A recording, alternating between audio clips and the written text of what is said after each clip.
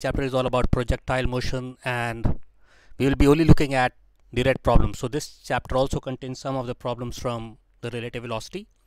This problem is a projectile is fired up an incline with an incline angle phi and with an initial speed of v naught at an angle theta naught. Show that the projectile travels a distance d up the incline where d is given by this expression. So let us assume that we have our origin fixed to this point and this is the y-axis and we have an x-axis over here. So all we want to do is we have to first of all find out what are the coordinates of this point where the parabolic path intersects the incline. Let us call that path as xy. Uh, I mean to say let us call that coordinates as x,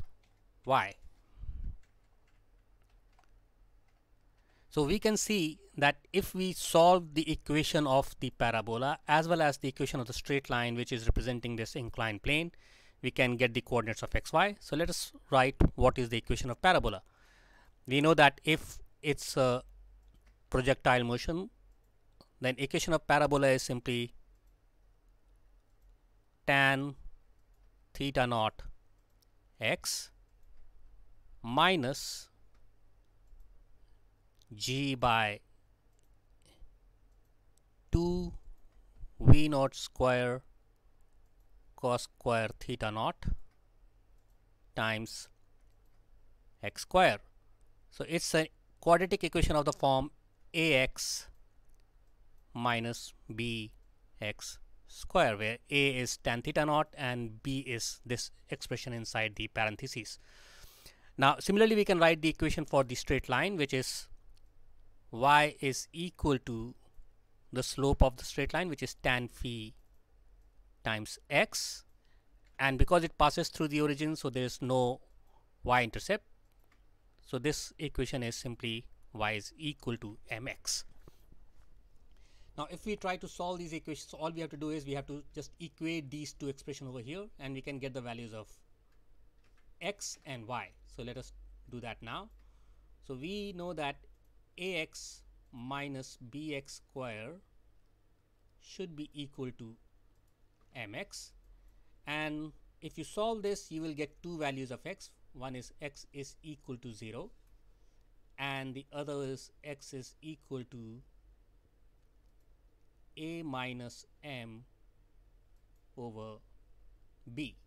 Now corresponding to x is equal to 0 we obviously have y is equal to 0 because y is simply m times x and from here we have y is equal to a minus m over b times m.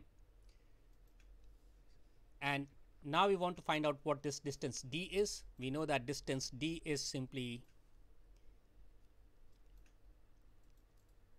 d square is x square plus y square which we can write as x square plus see y is m times x so we can write it as m square x square. And we'll finally get x square times 1 plus m square. And d therefore is x times square root of 1 plus m square.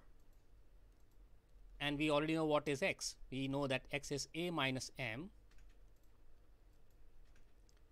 over b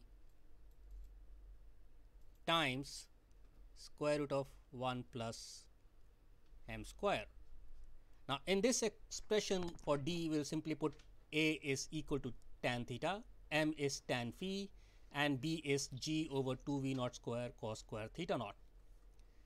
So let us do that now. So you have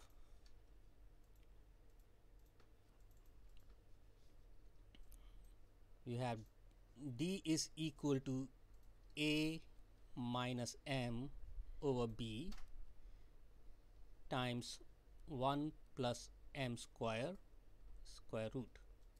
a is tan theta naught, m is tan phi. Times 1 over b right? Divided by b we can write as 1 over b. So we can write this as 2 v naught square cos square theta naught over g right? We are getting the value of b from here. It's g v g over 2 v naught square cos square theta naught so we are simply writing 1 over b as the reciprocal of that value. Now what is square root of 1 plus m square? It is square root of 1 plus tan square phi. Now we can write tan, tan theta naught as so we have d is equal to tan theta naught is sine theta naught by cosine theta naught minus sine phi by cosine phi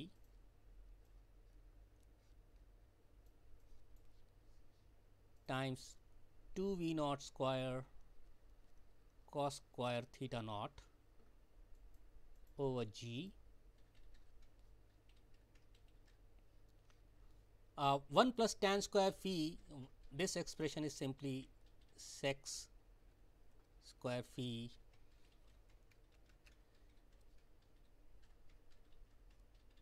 square root which is instead sec phi correct? So this we know this expression over here is sec phi. So we can write this as 1 over cosine of phi. Now we can take the LCM of this part. So we get cos theta naught cosine phi. And we have sine theta naught cosine phi minus cos theta naught sine phi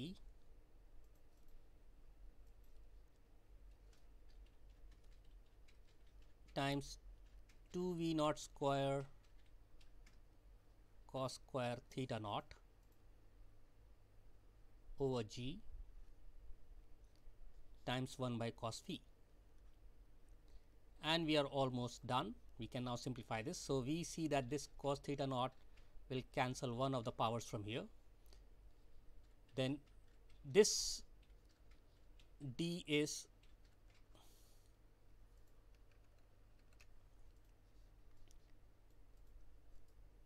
d is equal to 2 v naught square cosine theta naught. So we have written this term. This expression over here is sine theta naught minus phi, right? So we have multiplied by sine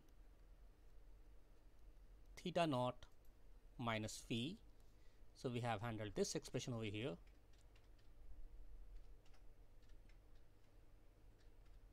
This entire thing divided by g